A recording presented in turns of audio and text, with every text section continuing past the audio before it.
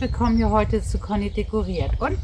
Der Kameramicha wieder dabei, wie immer. Mhm, genau, und wir sind richtig sportlich geworden. Immer rein, raus, rein, Ja, raus, dunkel, Wind. Regen, oder? Ja, Ihr Lieben, weil das ist nämlich heute wieder unser Outdoor-Thema. Das ist nämlich heute Bepflanzung und ein bisschen Deko rund um unseren äh, Baum und das mit dieser ja, Baumbank oder wie nennt man die? Und ihr Lieben, wenn euch das Thema heute interessiert, bleibt dran, weil das zeigen wir euch jetzt.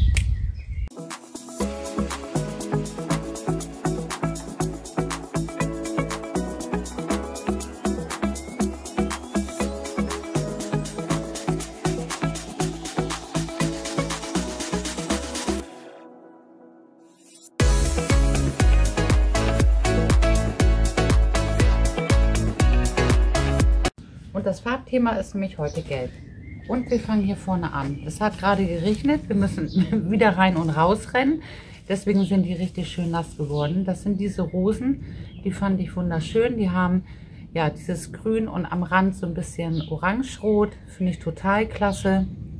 Und da habe ich mich ein bisschen nach orientiert mit den anderen Pflanzen. Ähm, und zwar haben hier hinten, guck mal, zeige ich euch. Hier hinten habe ich noch ein bisschen Elfenspiegel von der letzten Deko. Hier oben könnt ihr mal gucken. In der Infobox, da hatten wir nämlich pastellfarbene Töne hinten bei uns am Haus. Genau, und da sind das noch die Reste. Dann fand ich total schön die Gänseblümchen. Also in diesem Weiß und dann in der Mitte mit diesem Gelb. Total klasse. Passend natürlich zur Margarite. Auch mit Gelb und natürlich schön wie bei der Rose ein bisschen, ja, diesen Rot-Orange-Touch. Und damit das alles noch so ein bisschen aufgelockert wird und so ein bisschen romantisch wird, weil der Platz ist super romantisch, habe ich ein Schleierkraut mitgenommen. So, da ist schon ein bisschen ab, ein bisschen vorsichtig, genau. Das Schleierkraut kommt damit rein. Und was haben wir noch? Ich habe vom Hauseingang, könnt ihr auch hier oben in der Infobox gucken. Ich glaube, das war die Deko zu Ostern. Ich glaube schon. ja, War so, ne? Da hatten wir das Nest gemacht, genau, mit den Drahteiern, oder? ja. Ja, genau. Da hat Micha nämlich schön geholfen, das Feuer zu machen und die Drahteier zu machen. Hier oben in der Genau. Infobox könnt ihr auch noch mal gucken. Das war ein tolles Thema und das verwerten wir heute auch. Und diesen Maschendraht, ähm, oder sagen wir, ja, klar, Maschendrahtkorb, auch immer total super einsetzbar. Auch der kommt heute mit in die Deko. Dann unsere Weidenkörbe, die waren auch vorne im Eingang. Einmal diesen ganz großen, den ich hier hinten habe. Dann hier vorne den kleineren und so einen Wandkorb. Den hatte ich vorher hier an der Hauswand, wo wir jetzt orange haben. Und natürliches Moos. Und nicht zu vergessen wieder Erde und ein bisschen Blähton. Ich ganz vergessen, ich habe hier noch eine Pflanze, die habe ich gerettet. Die sieht nicht mehr so gut aus, aber ich denke, wenn wir die einpflanzen, kommt die wieder richtig gut. Auch die kann gut Sonne ab, so wie die anderen auch. Margariten sowieso.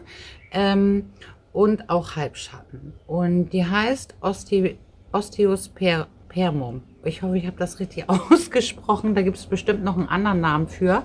Aber das könnt ihr mir gerne mal in die Kommentare schreiben. Und die kommt auch mit in die Deko. Und ich habe jetzt hier den Blähton. Den Blähton, der kommt jetzt hier in den großen Korb, damit wir keine Staunässe kriegen. Und den mache ich hier erstmal rein. So ist ein bisschen staubig, ne? Aber ich würde mal sagen, so drei Zentimeter, oder? Würde ich sagen, so kommt ungefähr hin. Habe ich jetzt den Blähton hier reingemacht.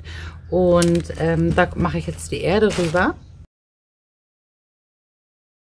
So, ich werde jetzt ein bisschen mit der Erde spielen. Ich gucke, dass wir genug Höhe haben. Und ich achte immer drauf, dass die Erde wirklich abschließend so ist, wie die Pflanze auch vorher im Topf drin war. Ähm, das finde ich immer ganz gut. So pflanze ich die immer ein. Und ich finde, das ähm, Schleierkraut finde ich total toll, wenn wir das hier einfach so mit reinpflanzen. Dann haben wir so ein bisschen Höhe und das macht das Ganze noch so ein bisschen verspielt und das finde ich eigentlich persönlich finde ich das ganz schön mit den Rosen. Und das fülle ich mir jetzt noch mit Erde auf. Was ich jetzt hier definitiv noch mal eben machen werde, ist ähm, das mit Moos vor oder hier an den Seiten ein bisschen zu verkleiden, weil ja der Plastikeinsatz ist einfach nicht mehr so schön. Und ich finde das ja, wie gesagt, immer sehr natürlich. Und das mache ich jetzt einmal rundherum. So, jetzt bin ich hier gleich fertig. Leg hier noch meine letzten Stückchen an den Rand. Und ja, dann können die nämlich jetzt den ganzen Sommer hier, haben sie richtig schön Platz, sich zu entwickeln. Wie gesagt, die Rosen und das Schleierkraut, die kommen dann danach auch in die Beete, weil die ja dann immer wieder kommen. Jetzt haben wir hier unseren äh, Wandkorb und ich glaube, das wird hingestellt und die sind natürlich ein bisschen feiner. Ich glaube, hier kommen jetzt, musst du echt mal eben überlegen, unsere Gänseblümchen rein. Ich glaube wirklich, das passt perfekt. Ich werde jetzt, ähm, ist doch super ausgefüllt und ich werde die jetzt auch aus dem Topf nehmen und hier vorsichtig einpflanzen. Jetzt hier meine Erde und fülle das jetzt genauso wie eben gerade auch wieder so auf, dass genau die Pflanze wie im Topf eben auch zuvor eingepflanzt ist. Es ist ein bisschen schade, bei dieser hier ist tatsächlich das ganze Wurzelwerk abgegangen und ich hoffe, vielleicht haben wir Glück, dass die noch kommt. So, jetzt haben wir die schön mit Erde aufgefüllt und hier vorne am Rand, innen drin mache ich das nicht, wirklich jetzt nur hier am Rand nochmal ein bisschen, ein bisschen Moos rauf. Und was ist uns gerade eben passiert? Der, das Vogelnest ist umgekippt mit dem Ast und ist kaputt gegangen. Genau. Oder ein bisschen kaputt. Hm, Jetzt müssen wir es gleich nochmal eben flicken, ne? Ich glaube, das machen wir mit Draht, oder was Jo. meinst du? Ja. Und, also das gefällt mir. Guck mal, ich mach, kipp das einfach mal eben so. Das ist doch toll, oder? Mit dem Moos und dann dieses Korbgeflecht und die kleinen zarten Gänseblümchen gefällt mir persönlich wirklich sehr, sehr gut. Dieser Korb, den hatten wir ja auch vorne. Da waren ähm, Hornfeilchen drin. Da freue ich mich richtig, weil ich habe ja noch das Efeu gehabt. Das Efeu, was wir wie gesagt auch hinten hatten. Und das passt hier wirklich super rein. Also finde ich, weil das steht ja nachher hier bei uns auf der Bank. Und dann haben wir noch mal wirklich, dann kann das richtig super nach unten wachsen. Und wir haben die Deko, die blumige Deko eben dann auch nach unten. Heißt, wir haben ein bisschen Höhe, es geht nach unten und das gefällt mir sehr gut. Und ich fülle jetzt hier auch noch mal wieder die Lücken komplett mit Erde auf. Auch das Efeu kommt natürlich auch, das kommt nachher in unser Beet.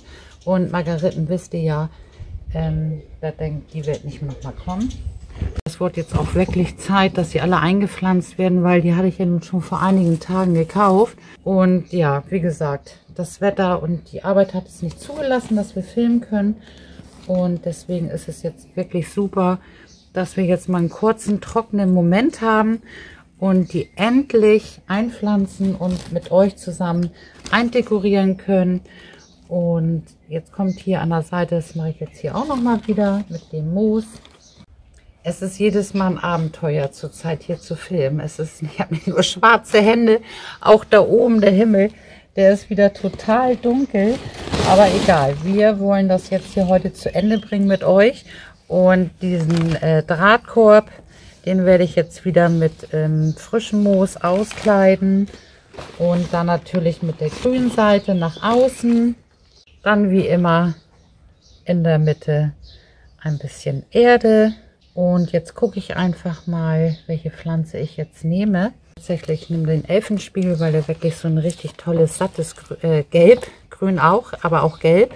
Und ähm, ich breche jetzt hier wieder ganz vorsichtig das Wurzelwerk nur ein bisschen auf und stecke es mir jetzt hier in das Drahtkörbchen oben auf die Erde rein und werde jetzt oben noch mal so ein bisschen Moos rauflegen. Rucki zucki und das Körbchen ist auch fertig.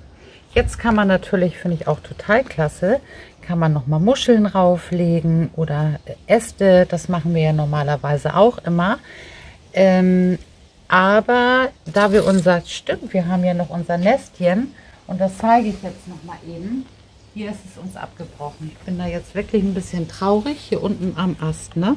Da werde ich jetzt ein bisschen Draht hochholen und werde mir das hier jetzt ein bisschen fixieren, damit das wieder hält. Ich Draht umgewickelt und ich hatte hier noch einen kleinen, ja eine, eine Wurzel mit einem Efeu und die Petunia habe ich jetzt hier reingemacht, ein bisschen mit Moos aufgefüllt und finde ich sehr natürlich. Ist auch jetzt ganz schön wieder mit, diesem, mit dem grünen Moos. Und bevor jetzt der Riesenregen kommt, würde ich sagen, wo gehen wir hin? Zum Baum. Yep. habe ich hier reingesteckt, den habe ich mir hier fixiert, den könnte man jetzt hier auch nochmal mit Draht fixieren. Ja, und das muss ich auch. Ich sehe, der, der fällt jetzt ein bisschen ab. Und hier hinten ist ein toller Platz für Ganz toll. Auf der anderen Seite, damit sich das Farbspiel nochmal erholt, kommt hier rüber. Hier oben habe ich einfach nur ein Draht rumgemacht und das hält wirklich super. Wenn ihr Angst habt, dass es nicht hält, kann man hier hinten nochmal in das Geäst und einmal um den Baum rumgehen. Aber ich glaube, ähm, dass er ziemlich geschützt hier ist. Dann habe ich noch so ein wunderschönes altes äh, Windlicht. Da kann ich nachher noch mal eine richtig, kann ich noch mal ein bisschen sauber machen, die Kerze. Und hier neben finde ich passt total klasse der Drahtkorb. Und unsere richtig schöne Vogeltränke im Shabby Look, die kommt jetzt hier oben mit drauf. Und ich finde, das passt sehr schön mit diesen gelben, ja, mit diesen gelben Pflanzen. Und das war unser Thema heute. Bepflanzung rund um den Baum. Und ich hoffe sehr, dass bald die Sonne kommt und wirklich mal beständiger für alle, dass es einfach mal schön wird und ja, ein bisschen warm auch, ne? Ja. Dann würden wir auch gerne mal Kissenplatz nehmen und man kann das so ein bisschen nach unten stellen und sich hier ein bisschen das gemütlich machen. Ihr Lieben, und wir hoffen sehr, dass euch auch das Thema heute inspiriert hat und euch auch interessiert hat. Dann würden wir uns sehr über einen Daumen hoch, ein kostenloses Abo, aktiviert die Glocke, dann bekommt ihr immer Info, wenn ein neues Video online ist. Und ich würde sagen, bis die Tage, eure Conny und Euer Micha, der Kameramann. Bis bald. Und bevor wir jetzt Tschüss sagen, wieder in eigener Sache, folgt uns doch auf Instagram oder auf Facebook. Da kommen immer Highlights, schreibt uns an, schickt uns Fotos. Das macht immer Freude. Und wenn ihr Dekoartikel mal Interesse habt, guckt hier unten in der Videobeschreibung. Da gibt es den Link zu unserer Homepage. Und von da habt ihr immer die Verlinkung zu den jeweiligen Dekoartikeln. Also jetzt sage ich aber bis bald, eure Conny und Euer Micha. tschüss. Tschüss.